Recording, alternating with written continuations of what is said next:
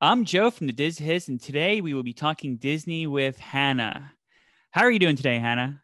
I'm good. How about you? Doing pretty good. You know, I'm looking forward to this interview. Uh, just to kind of kind of go into how I kind of found you is I was just searching through like you know my Instagram, going through like my normal thing, looking at different Disney stuff, and I saw like a video of you singing. I was like, wow, she's a really good singer. So. I was like, well, you know, I'll reach out to her and see what happens. And uh, you know, I kind of wanted to hear your some of your Disney favorites and Disney experiences so we can share yeah. it with everyone else. Yeah. Yay! I'm so excited. Thank you for your kind words. oh no, no problem. Uh, so first off, can you tell us a little bit a little bit about yourself and how we can find you? Sure. So my name is Hannah Little. My Instagram is at little bit of Disney with the underscore at the end. Okay. Um, I am 27 years old. I've been married to my husband for about four years. We have two husky mixes, one of which is in the room, and you might hear him talking at some point. um, and I am a Disney travel agent. Awesome. And uh, I see that you you go to Disney often, right? I try to as much as I possibly can. yeah, and I see you got some ears behind you there. Oh yes, this is this is my office. This is my little ear wall behind me. Um, but yeah, my goal this year is to go four times. Every single year, I try to add another trip. So this year is four times. I've already gotten how many? Two, and I need to get two more in 2021. Okay, awesome. And uh, can you tell us a little bit about the videos that you're making with you singing Disney, you know, songs? Yeah, so I took an Instagram course, and they really pushed using um, the platforms. Shadow Come here. He's going to talk to me. Um, so I took an Instagram course and they really pushed using the free platforms that Instagram gives you, like IGTV. At that point, Reels were not a thing. So mm-hmm. um, they talked about, you know, if you can teach something, you're going to want to make videos where you can teach. If you can, you know, do whatever, make IGTVs. And I was like, what in the world could I possibly teach that has to do with Disney, that has to do with or traveling in general? Um, and I just had the thought, you know, I've been singing my whole life. Why would I not make Disney singing videos? Um, so I've been making these videos. I really just did it for me as a creative outlet. Mm-hmm. And I mean, people have seemed to really enjoy them and I love making them. So it's been fun. Yeah, and I'm going to insert right here a video that you sent me. And before I actually insert and we get into it, what song is it? It's Speechless from the live action Aladdin. Awesome, yeah, which is kind of cool because you know you get these live action movies and they're um, you know kind of connected to like the original, the cartoons, and this is one of the songs that's not in the original cartoon, but it's a very impactful song. Mm-hmm, yeah, and I've I've honestly been surprised at how much people have loved it. I didn't think it was as popular as it is, but yeah, it's been fun. Yeah. So, okay, I'm going to go ahead and play it right now.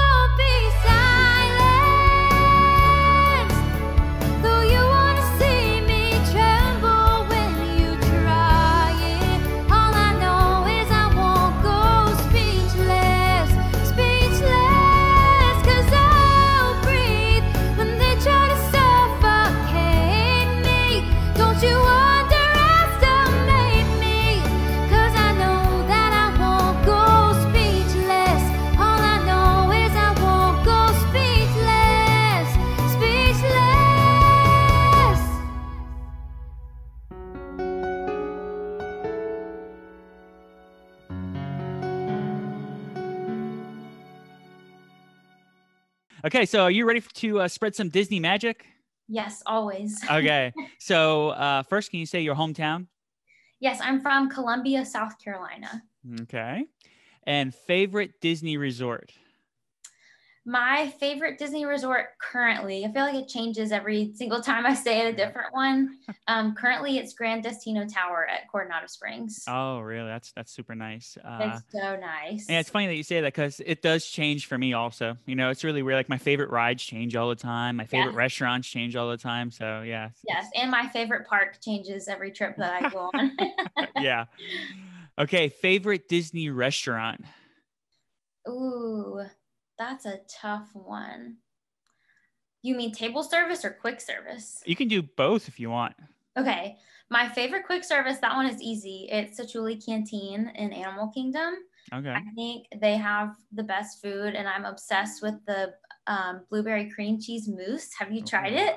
That's over in uh that's in, in um Avatar, right? Pandora? Yes. Yes, I have tried it. It is delicious. It's so good. It's like the weirdest looking dessert, but it is so good. yeah, yeah, it is delicious. Um, as far as table service, I would probably say California Grill. Mhm. I am just all about like the overall experience. Um, I want the food to be good. Obviously, I want the service to be good. But the fact that you can go to California Grill at night and in pre-COVID times Mhm. and watch Happily Ever After from the rooftop is like that's just like the epitome of magical to me. So I love it there. Yeah, it is super special for sure. Uh, and I, that's a great restaurant. yeah. Okay, uh, Disney favorite Disney attraction. Favorite Disney attraction is probably Tower of Terror. Um, I was so scared I chickened out three times. I left in the boiler room three times. and then finally one trip I finally rode it and I like that it's different every time you ride it. So there's like a whole nother thrill factor if you don't know what's coming next. Um, and my last trip, I held up my hands the whole time, and I was literally so proud of myself. that's, pretty- that that's, that's a big deal. That's yes, big I was so sure. proud. yeah because that ride's pretty intense i've you know I, i'm a baby i haven't been on that ride and that's one of the yeah i know I oh know. my gosh. Okay, well, if I can do it, you can do it. Uh, yeah maybe are you do you like roller coasters or don't- like roller coasters I do. I um I don't like roller coasters that go upside down. mm-hmm. And I chickened out of Rock and Roller Coaster a lot before I finally rode it. But that's one that I don't ride anymore because I'm so short that my head doesn't stick out of the thing that like comes over you to secure you in. yeah So my head literally just rattles around inside the thing the Oh. whole time. So that one's like no fun for me anymore. that But I have stink. ridden it. yeah i need i'm i'm i'm i'm my uh i'm getting over my fears i'm riding more and more roller coasters so tower and terror i can probably see me doing that sometime definitely Yeah. It takes a lot of courage and I'm like literally terrified every time I do it. And the first couple times we rode it, like I hold on to my husband and he was like, you literally like shake the whole time that we're on it. And so this past trip I went without him and I like held my hands up and literally the whole time I could feel myself like shaking, so scared. but it's worth it. It's so fun.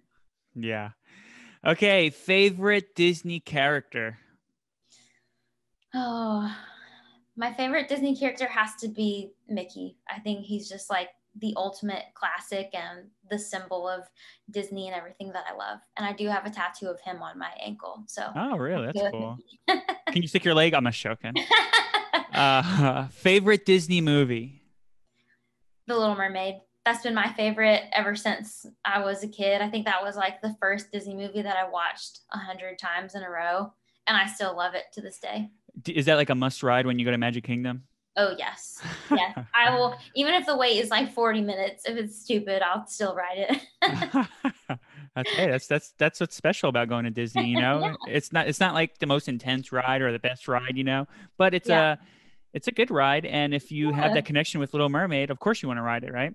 yes, it's so nostalgic. I love it. yeah. Okay, favorite Disney magical memory. Okay. I have two, if that's okay. Yeah, for sure. both of them are good. So the first trip that my husband and I went on, um, the first night we were in Disney Springs and we ate at Rainforest Cafe, and our server was so awesome, and he um, ended up like every time he came over to check on us, he would ask us Disney trivia questions. Mm-hmm. And I thought that was so much fun. And that is kind of what started my obsession for Disney. I was like, I want to know all of the answers to all these trivia questions. And just the magic that he brought to the beginning of our trip was really special. And then the second one is the first time we went to the Frozen sing along in Hollywood Studios. And I mean, we thought it was hilarious. We were dying laughing. But the portion where they play Let It Go, there was a dad who stood up in the middle of the audience and acted out the entire song and like sang at the top of his lungs. Uh.